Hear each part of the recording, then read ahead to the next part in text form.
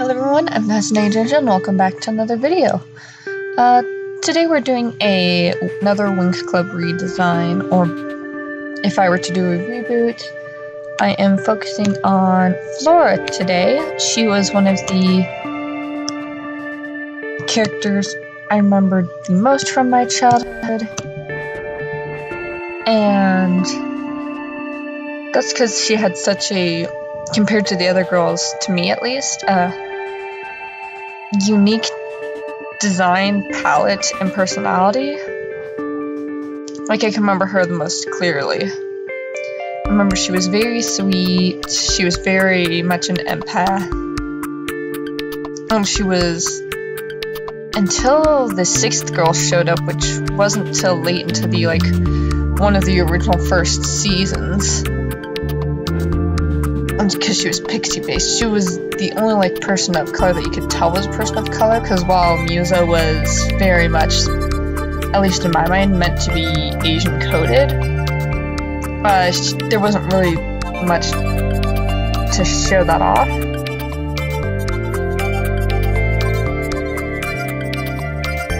Just because all the girls' eyes were styled very the same.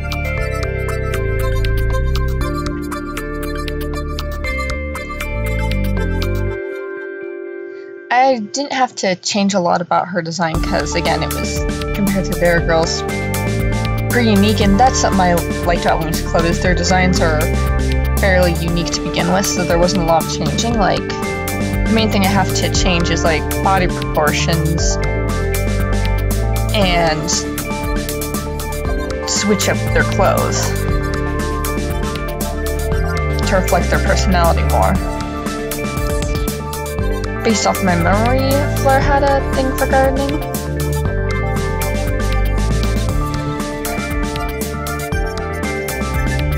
But yeah. I actually decided to keep her cute little uh, fairy pose. And I realized afterwards, when I am watching this, I forgot to give her her wings. But honestly, like, it's pretty obvious to tell I would give given her like transparent leaf-like wings or yeah, probably leaf-like wings since I made sure the flower part of her dress was more of the petal.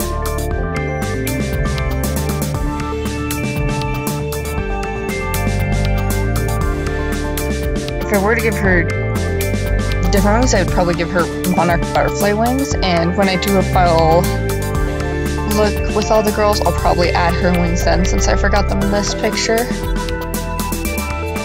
This actually was a pretty quick picture seeing as I kind of had a rough idea of what I wanted to do because I whenever I think of like floral magic girls, I always have this had this idea of the vines stretching out as if they're like ribbons over their body. So this finally gave me the opportunity to use that and she gets a cute little flower crown to help keep hair out of her face.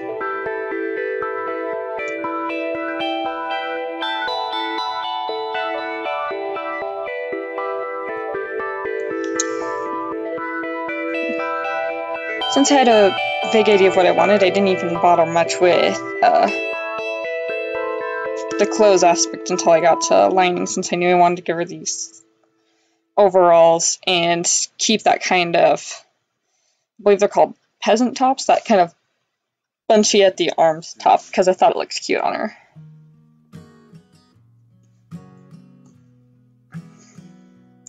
For color palette, I stuck with reds, oranges, and green. Uh, mostly because I could see in with a more like my reboot that I could see DreamWorks doing because they've been like the best about old reboots of of old shows like Voltron and She-Ra. They have their shortcomings, and I'll discuss those in the, another video. But I like that they changed characters for the gayer, or to be more representative. So I could easily see them making her a very like soft femme.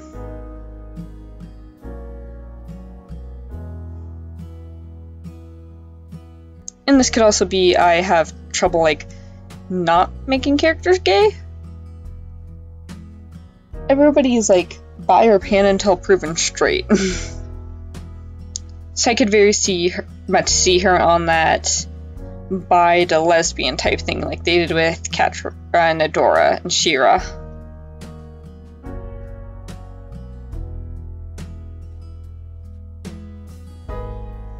Next up, I'm probably going to do Stella, which was the orange fairy with blonde hair, if I remember. And I might do the sixth fairy, but I don't remember much about her, so I'll have to do some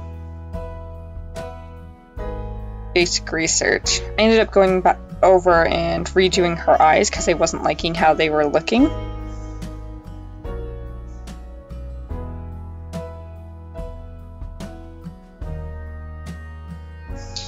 Yeah. And overall, I just had fun with this design. I'm much more happy with how this design turned out than I am Musa's, because there are multiple ways I can do magic girls who are supposed to be flora and plant based, but there's very few ways I can go other than just like ballet outfits for me or instrument themes for music based ones, so that's why this one seems so much more put together, in my opinion.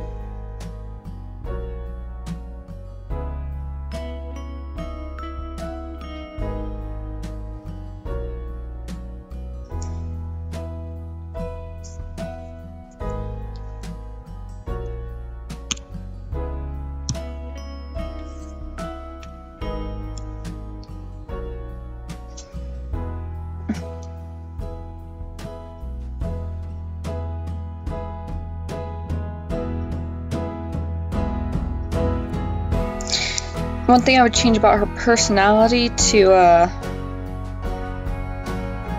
kind of go against the grain is a lot of times these very floral and like sweet characters are very shy and very muted. Like think Fluttershy from My Little Pony Friendship is Magic. I would make her an extrovert. Honestly, just make her louder than the average like floral character.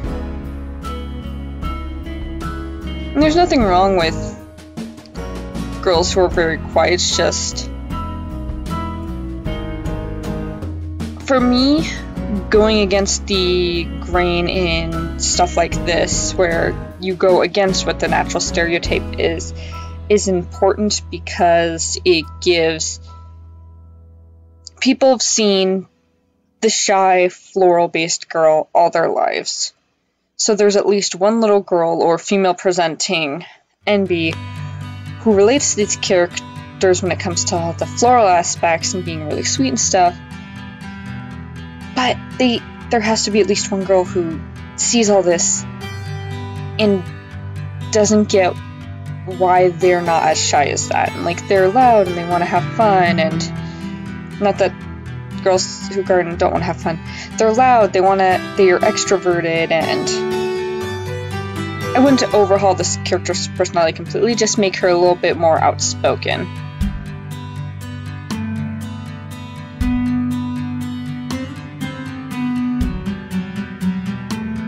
I actually tried to keep as much of her like original design while adding my own flair in, in to the character as possible because honestly I think it's really good design overall.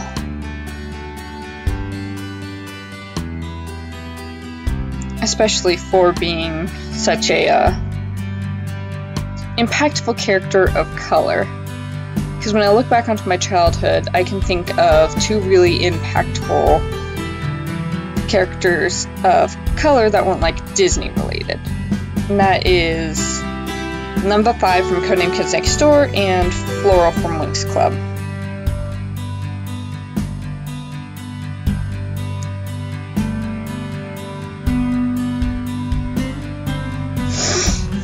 So I really enjoyed doing this redesign. I ended up adding more of her like blonde streaks into her hair because I thought it looked better.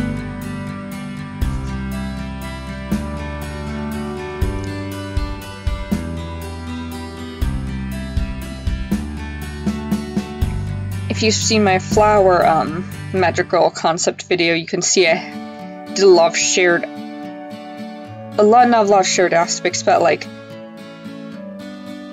they have similar feels to them because if I hadn't gone for more of the like dance-based theme, this is more of the type of outfit I would have given that magic girl. And honestly, these types of characters are fun to do that are flower-based because I can go over with many different